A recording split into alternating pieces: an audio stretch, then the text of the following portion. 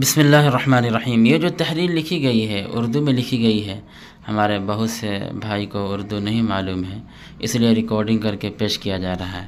اس میں جو بات کہی گئی ہے، وہ یہ ہے کہ سو فیصد مسلم بچوں اور بچیوں کو دین کی ضروری تعلیم و تربیت سے کیسے آراستہ کیا جائے؟ یعنی تمام مسلمان بچوں اور بچیوں کو دین کی ضروری باتیں کیسے سکھائی جائے؟ اس کا کیا طریقہ ہو؟ تو اس میں جو بات ہے وہ یہ ہے، آج کی اشد ضرورت ہے، بہت زیادہ ضروری ہے کہ گاؤں گاؤں، قصبہ قصبہ، ہر جگہ مکاتب کا جال بچھا دیا جائے، ہر جگہ مکتب قائم کر دیا جائے۔ مکاتب میں دینی تعلیم اور دینی تربیت دونوں باتوں کا بھرپور لحاظ رکھا جائے اور سو فیصد تمام مسلم بچوں اور بچیوں کو مکاتب سے جوڑ کر ضروری تعلیم دلوانے کے لیے بھرپور کوششیں کی جائیں۔ بچوں کے ماں باپ سے پیسے لے لے کر اور ان کے سامنے انفاق فی سبیل اللہ اللہ کے راستے میں خرچ کرنے کے، دینی تعلیم کے راستے میں خرچ کرنے کے جو فضائل ہیں، ان کو بیان کر کر کے۔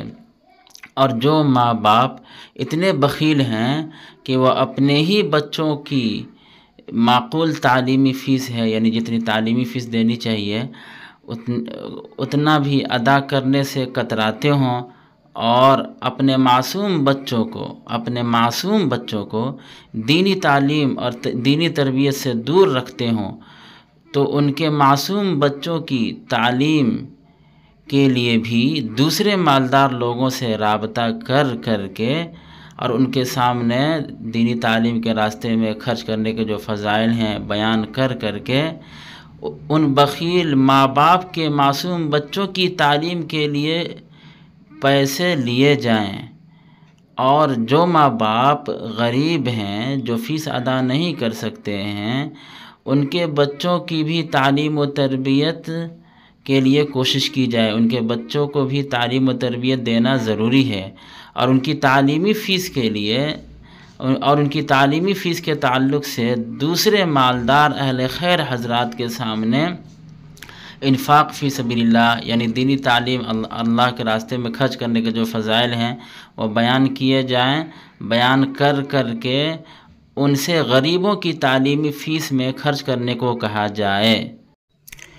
اس طرح انشاءاللہ گاؤں گاؤں، قریہ قریہ، قصبہ قصبہ، ہر جگہ مکاتب کا جال بچھ جائے گا اور سو فیصد مسلم بچوں اور بچیوں کو ضروری دینی تعلیم اور ضروری دینی تربیت مل جائے گی۔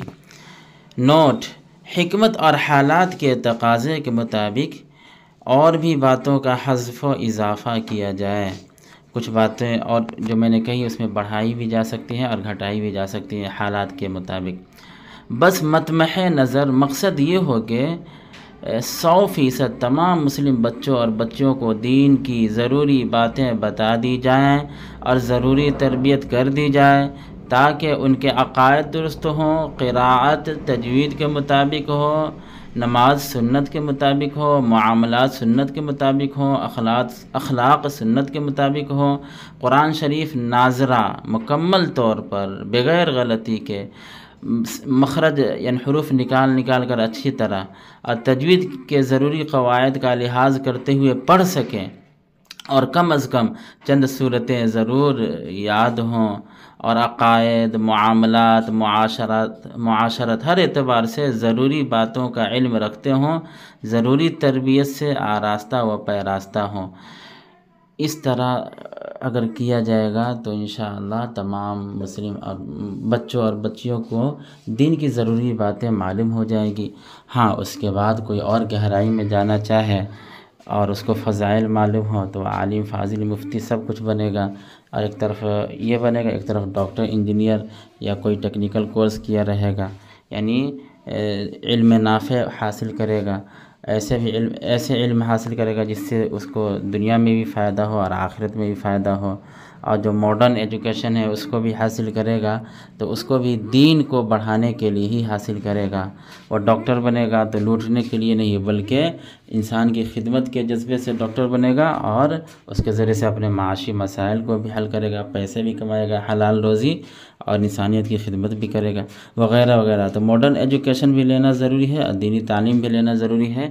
اسپیشل اسپیشلسٹ ہونا چاہیے ایک کسی کسی فن میں۔ لیکن جو دین کی جو ضروری باتیں ہیں، قرآن، حدیث اور یہ سب یہ سب بچوں کو آنا ضروری ہے، جو ضروری باتیں ہیں۔ نماز وغیرہ۔ تمام سو فیصد تمام مسلم بچوں اور بچیوں کو سیکھنا، سکھانا، تربیت دینا ضروری ہے۔ اس کے لیے جس طرح بھی ہو، کوششیں کی جائیں۔